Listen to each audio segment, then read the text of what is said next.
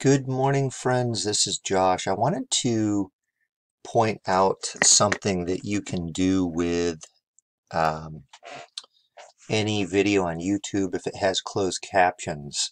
So I know we have some Arabic speakers, some French speakers in our Study the Bible and Quran group, and perhaps listening to the scriptures in English is difficult for you. So what you can do on YouTube, you can turn on the captions and you can read along.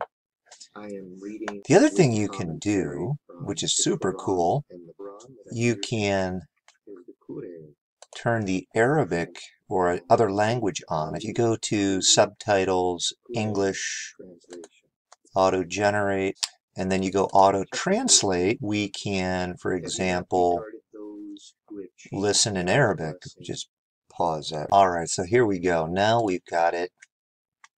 From the Quran this morning, I am in Ibrahim, chapter 14, verse 28. Pretty cool stuff.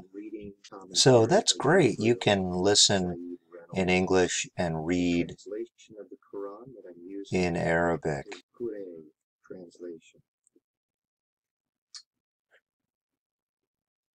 All right, cool beans.